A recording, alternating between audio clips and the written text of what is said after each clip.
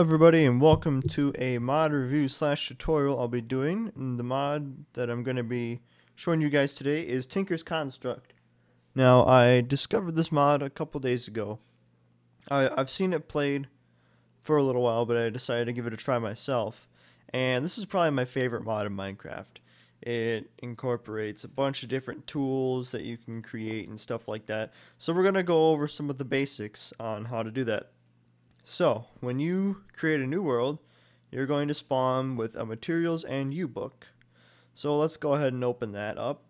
And basically it's going to give you, show you what you need to start out, like some uh, some crafting recipes, so blank patterns, stencil table, part crafter, pattern chest, tool station, tool forge, and then the different versions of materials in You, and then the mighty smelting.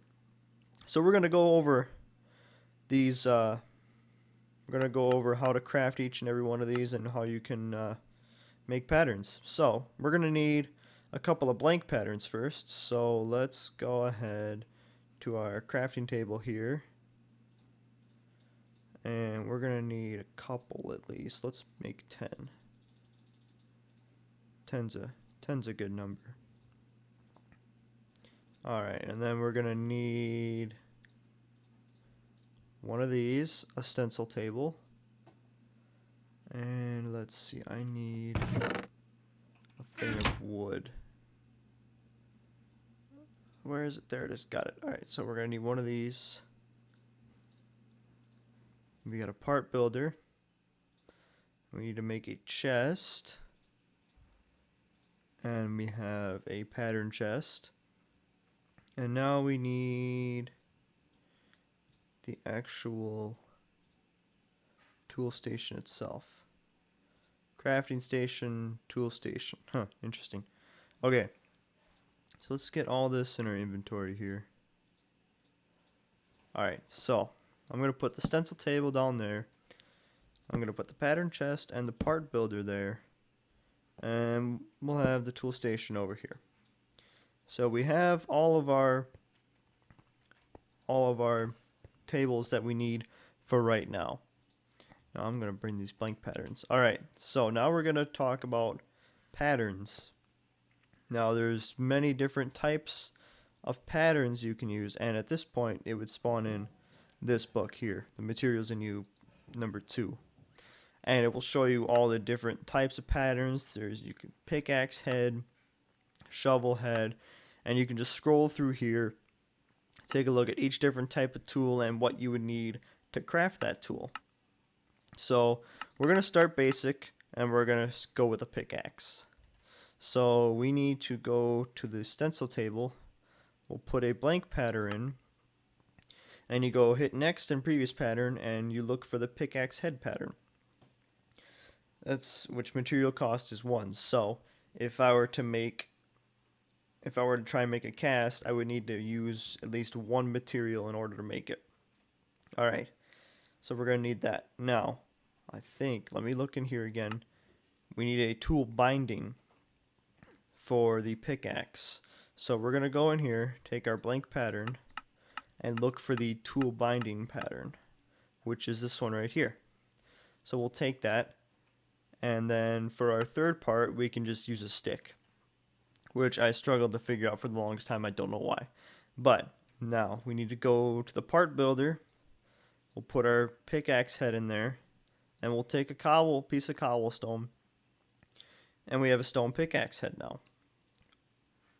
And now we have a tool binding pattern that we'll put in there. And since it's only 0.5, it's going to give us a stone binding and a stone shard. So now if I put the stone shard in there, it can give us another stone binding because that's considered half a piece of cobblestone. But we only need the one right now. So I'm going to put these patterns back in the chest for right now. Now, tool station. Let's see. Should be able to build a stone a pickaxe that's stone bound. So that's how you simply create tools in Tinker's Construct. Just like that. And I mean, there's a bunch of different patterns you can do. And you can make these out of iron, you can make these out of all sorts of different metals. They have new metals that are incorporated into the game, like cobalt, aluminum, and stuff like that. So, uh, so the next part here, we're going to talk about the smeltery, which is how we're going to make like an iron pick or an iron hammer, and I'll go over how to make the uh, the iron hammer here. So we'll do that. All right, now we're going to learn how to create a smeltery and then learn how to make casts so that we can make these awesome tools such as the hammer. So, first we're going to need seared bricks. Now, in order to make that, we're going to have to combine gravel, clay, and sand. I don't think there's any particular order, but you'll get grout. Now, you're going to need a lot of this because when you take the grout and you smelt it, it's going to give you not one seared, it's going to give you a seared brick. And you need four seared bricks to make a block like this. Excuse me. So it's very resource consuming, but in the end, it's going to be worth it. So you're you would need to find a lot of clay, a lot of gravel, and a lot of sand. So you would take this, put it in a pattern of four, and you would get seared brick like that. So once you take once you get seared brick, you're gonna want to come over here and lay out a three by three pattern for the bottom of your smeltery. Now the reason you have to use seared brick is because there's going to be a lot of heat and you use anything else it's just not going to end well. I don't even think you can use anything else. So if we look in the uh, the Mighty Smelting book, you'll see all the recipes you need and this is what you would need for a smelter. You would need one smeltery controller, one seared tank, nine seared bricks, any combination of 10 seared bricks, seared tanks, or drains, one faucet, and one casting table. So I have all these in the box here, and we're going to assemble this this smeltery. Alright, so we have the smeltery controller here. We're going to place that down there. We have a seared tank. We're going to place that next to it. And we're going to have the smeltery drain here. Now we put the faucet on the drain and we have the casting table set below it. So when we hit the faucet, it's going to pour out into here and make a cast. Now, we just need to finish off the sides before this will turn on. So I'm going to put everything back here like so and I'll get to this in a minute, but basically what that can do, what the casting basin can do is if you have that instead of the uh, the casting table, it depending on how many ingots you have left in here, it'll just make blocks of whatever of whatever is in there. So if I have 9 ingots of gold left over and I want to empty it and put something else in there, I can do that. I can just empty it into the basin like that. So we're going to take our seared bricks and finish surrounding this. Now, if you do this correctly, that should light up. And if we right click that, we have nine open spaces to put to put items in. Now, if you have it taller like this one here, it will allow for more spaces to put materials such as iron and gold but right now we need to add fuel because there is no fuel in it. So we're going to take our bucket of lava and we're going to put just three buckets. That, that'll simulate three buckets of lava and it gives us a little bit of fuel. Okay, so now that we have the fuel that we need, we need something to make a cast. And so we need gold. So we're going to take some gold ore here and actually what I'm going to do quick is I'm going to make this one higher so we can fit a couple more gold in here. And that way we'll have plenty to go around.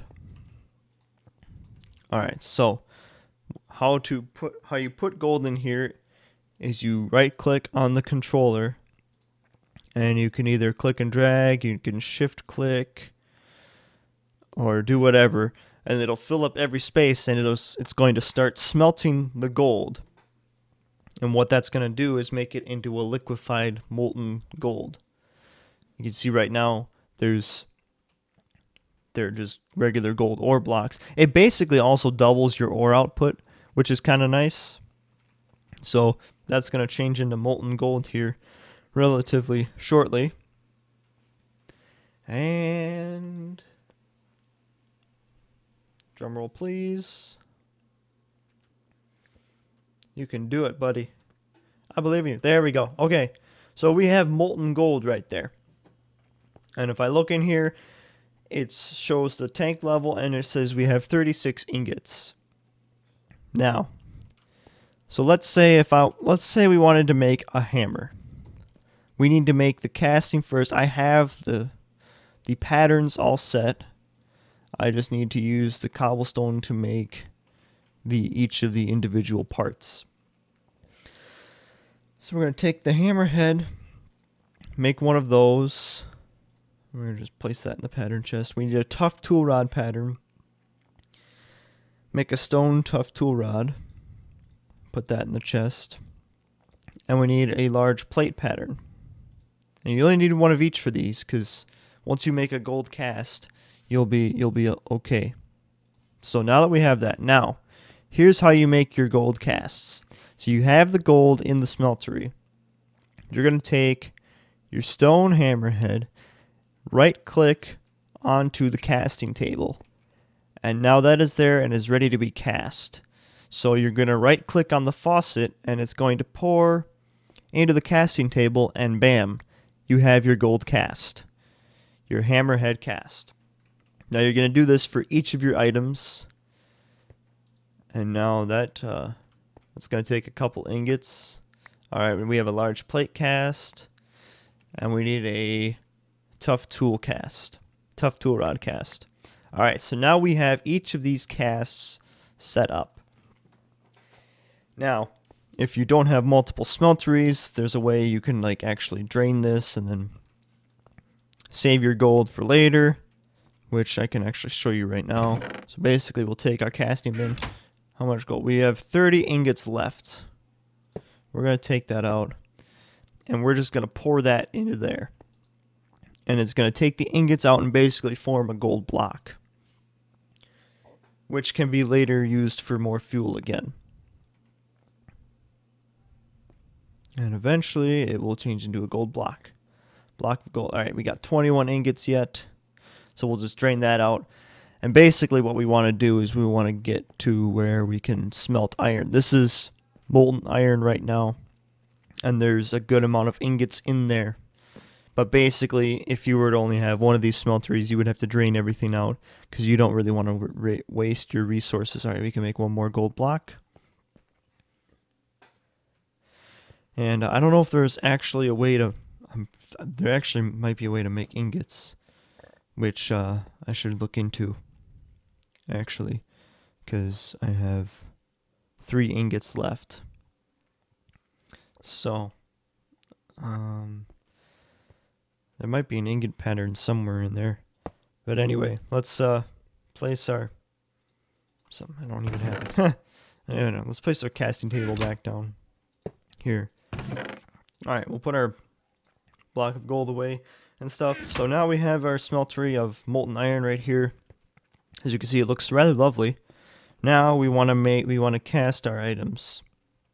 So we need a hammerhead, so we're going to place our cast there. Right click on the faucet again so that the molten iron would come out and go into the cast. It's going to sit for a second and bam, we have an iron hammerhead. And let's see. Let's look at the materials in you to make sure we're crafting this correctly. So we need a hammerhead, two large plates, and a tough rod. Okay. So we need two of these large plates. So we'll fill these up quickly. I don't really is there a is there a pattern for an ingot? Because that would be so much helpful. I'll have to I'll have to look into that after this, but this is basically how you would craft your your new tools and and stuff like that. And now we need a tough tool rod cast, which won't take up many ingots at all. and we have all the materials we need now to craft our our hammer. Now, if we go to the tool station here, there's no hammer icon over here. So what we need for that is we need a tool forge, which is for the tier 2 tools. So we're actually going to need a good amount of iron. So let me get our casting basin. And let's start pouring out iron. And I have three seared bricks already in my inventory. So we just need the four iron blocks now before we can before we can uh, craft the uh, the tool forge. Oh, so yeah, this mod is I played around with it for about 5 hours. I mean, that's that's about how long it took me to figure it out, but this is a really enjoyable mod. I really like this mod a lot. I highly recommend it if, to put it in your in your world of mods if you have one.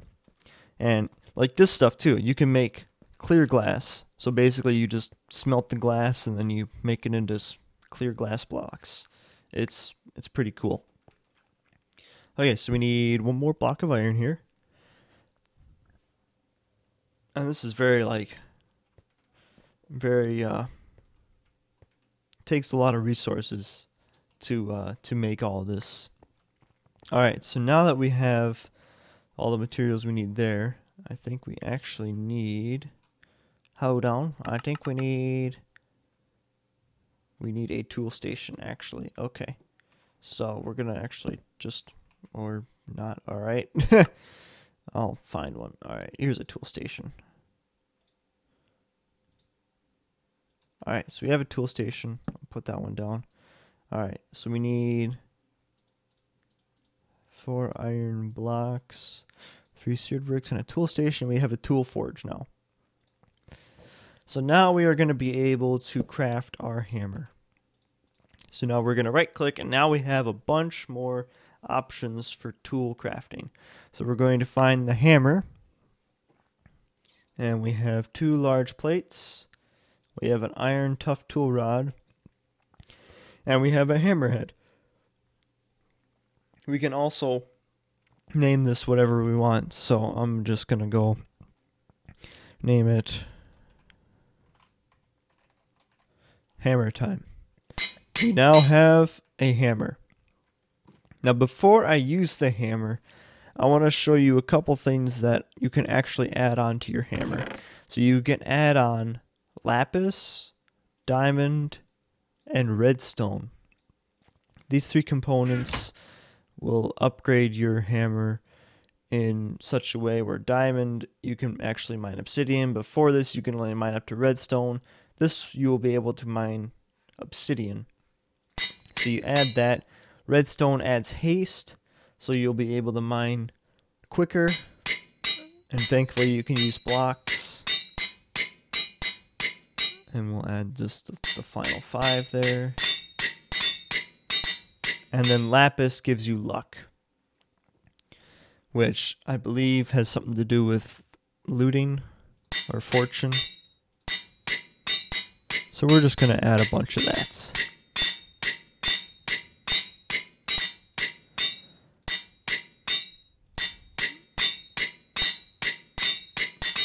This thing is so awesome. The only thing is you just can't let it break, and you can repair it with iron ingots, which is rather nice. So now it's got Fortune 1 on it. We're just gonna go all the way because we can. Cause we can.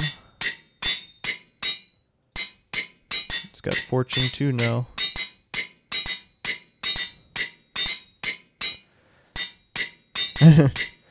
and like for some reason now like oh all right we made it. All right so now that we've like fully decked out our hammer we have fortune 3 on it.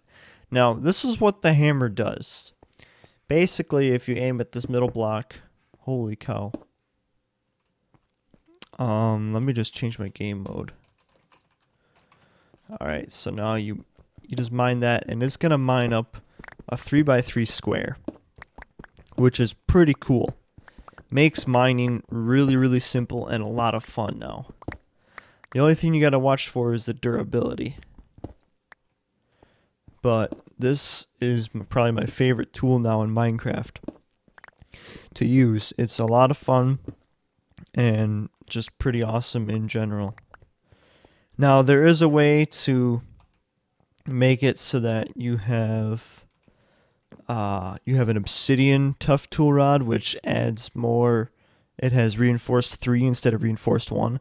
Basically, you would just have to smelt the obsidian and then make that into your uh, tough tool rod. So those are your that's your basic tutorial on Tinker's Construct. I'm there's a ton more that I think that I haven't even tried to explore yet. This is just what I know. And I hope this has helped you out and that you'll be able to craft your hammers and then go mining on an epic adventure and just have a lot of fun with it. So I hope you guys enjoyed this video and we'll see you later.